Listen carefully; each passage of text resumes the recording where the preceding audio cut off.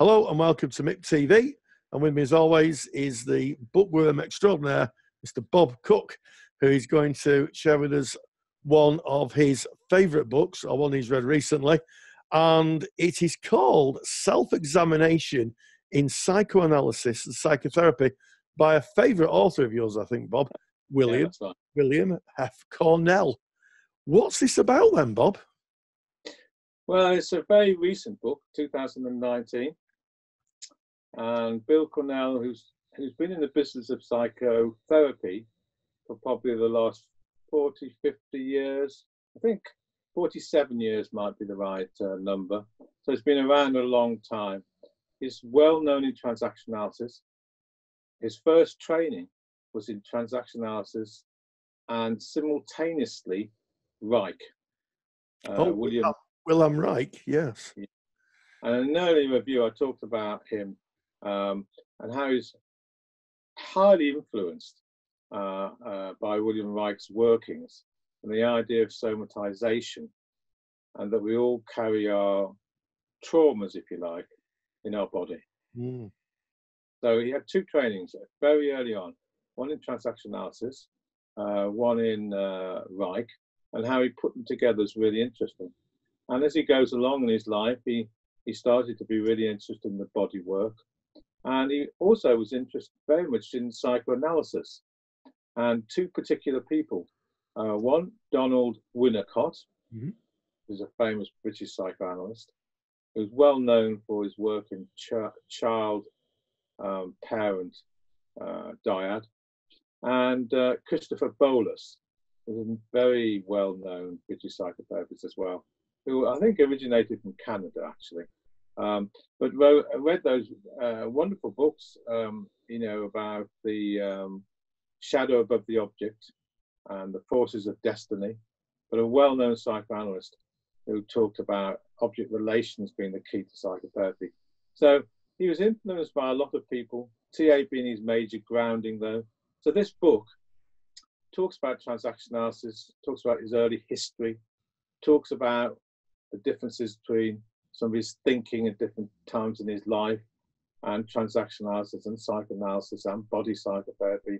But most of all, uh, he takes us, that's the reader, through his mistakes in his career and specifically his clinical career. And he has vignettes of his work and his mistakes in his work and how he learned from them. Is there any particular vignettes that strike you, Bob? Anything you're talking about him making mistakes?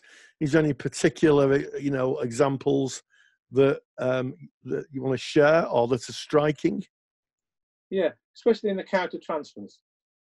So when he tries particularly to um, help help and fix a person, you know, a political person I'm thinking about, he tries to fix them, and he goes and he, in fact, he talks about how he would dream about how he could fix these people, uh, this person, and in, in that process, ended up rescuing and infantil- infantilizing them really, so that they were not really growing up, if you like. Um, and he he talks about how an urge to problem solve, to fix things, and of course, the real where he needed to go, of course, was to just to be with the client instead of attempting uh, at all costs to try and solve the problem. Um, and he talks about how he learns about the difference between being and doing. Um, so they're interesting. But what I did find interesting, I don't know in your practice if this is true for you, but um, he talks about he was finding himself at work, sorry, at home, and you know his work pastimes, if you like, thinking and dreaming about this person. And when you start dreaming about people or thinking about them outside the office more than say three or four times during the week, that shows some counter transference or some projective identification. And that you're then caught up in a symbiosis where you're not really helping the client at all. You're caught up in some sort of merger. Yes, you, you're in sort of you- you're in sometimes referred to as the the transferential mire there. I think Bob, because um, because you you sometimes don't know where you begin and the client ends. It's not something that um, I have to say in my professional practice has ever happened to me. Um, but I do know of therapists where, and certainly I taught therapists for 10 years, and I have to say that students, certainly in their early training, can sometimes get caught in that counter transference about thinking about the clients. And sometimes it is that discussion about projecting part of themselves onto the client and, ha- and having, you know, and it's, it's certainly a lot of early work, I think, in supervision. I know you supervise yourself, um, trying to pick that up because that, that can happen that supervisees pro- project part of their yeah. own anxieties onto the client. Yeah, and he talked about how um, transference. So he went past transaction analysis in a way. I mean, I know Berne talked about transference, but really Berne talked about in awareness and out of awareness. So later on in this book, he's really talking about his. Uh, this is Cornell. He's talking about being influenced by Christopher Bollas, who talked about the therapist analyzing the transference as a way of decoding the unconscious processes which get enacted out yeah. in the psychotherapy room. Yeah, yeah. And yeah. Freud, Freud, all those years ago, talked about the same thing. He talked about he was a dream analyst, Freud. Yeah, yeah. Freud, uh, analyzing the dreams was the royal road uh, into the soul of the psychotherapist. I mean, the client. So by analyzing the dreams, by uh, examining the unconscious, if you like, because the dreams are in the world of the unconscious process. Yes. You can get the decoded process, which actually get enacted out in the present. So in this book, it talks a lot about decoding the transference, um, looking at the the how the therapist can get merged with the clients. Yes. Uh, for example, erotic transference. Yes, that's a classic example, isn't it? There's a really classic one, isn't it? When we fall in love or we get caught up in the eroticism which has been projected often by the clients or maybe projected by the therapist. Yes. And that is this is where supervision therapy becomes key, or we might find ourselves in an ethical graveyard. Yes. R.I.P. Yes. Yeah. Yeah. yeah. It can, yeah. happen, and, and certainly things things like erotic, erotic or eroticized transference um, are sometimes quite hard to detect without, you know, it's something that I know in my practice, my supervision practice, you know, sometimes, you know, supervisees speak about, you know, liking the clients and on examination, they've realized that there's some kind of attraction there. And interestingly enough, it's one that's not just in, in their fantasy, it's something that the client may be projecting onto them and they have to be thoughtful of it. I'll give you a gem from this book. Now, I've been practicing for 34, 35 years. I've been training psychotherapists for 23 of those years, or perhaps even more, actually, Rory. I've been a supervisor for many, many years. Now, this is a gem from this book. And I hadn't actually thought about it this way. Now, and when I think about this, quite, it's quite remarkable. So what, what uh, you know, what he talks about is how the client, it's really important for the client to use the psychotherapist. Mm. Client can use the psychotherapist in a transformational way to have a different relational experience. Yes.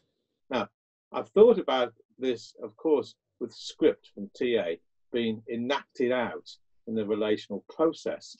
But the way I've always thought about this, or most of my life, is the co created relationship in that uh, process where the actual therapist, you know, through intention and transactions enters the relationship. But actually, to think about it like the client is using the therapist in the service of transformational experience brings another dynamic to this. And in fact, in some ways helps me ground myself in the sense that the therapist is using you, uh, sorry, the client is using you, which is really interesting in terms of adult grounding. Yeah. Well, they could be testing them, testing their new selves out, couldn't they? Mm. And mm. testing, um, or, you know, previously untapped or unexplored emotions out. Mm. And, and I think it's a nice way to think about it because if you think of beginning counselors and beginning therapists, you, you know this as well as me, you've been around for a long time and teaching people this. they they they right at the beginning, they are so afraid to make mistakes. They want to get things right, or they want to, you know, they want to do a lot of teaching, educative therapy, if you like, doing the right thing and not the wrong thing, um, trying to help the client so much. Uh, they go over boundaries quite often. They go over the time boundaries, all in their investment to help the client. Mm. And often that's where the problems start occurring because they lose their sense of self in attempting to help the client, of course, who's usually projecting something like, uh, please help me or fix me. Yeah, yeah. Yeah. Right? But if you think of it as the client needing to use you rather than the other way around, we have a different ball game, don't we? Absolutely. You know, and why shouldn't clients be able to test out all the aspects of themselves in the therapy room? You know, mm. I mean, it's up to us to hold a boundary on that as therapy. Oh, but, yeah, of course. Uh, but yeah, yeah, yeah. But, but it, it made me think.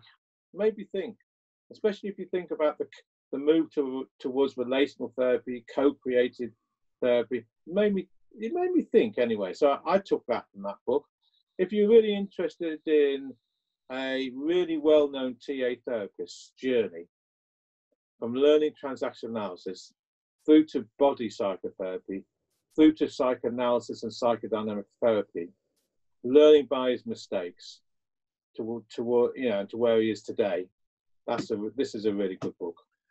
So the book we've been discussing is Self-Examination in Psychoanalysis and Psychotherapy by a perennial favourite, certainly on this channel, William William H. Cornell.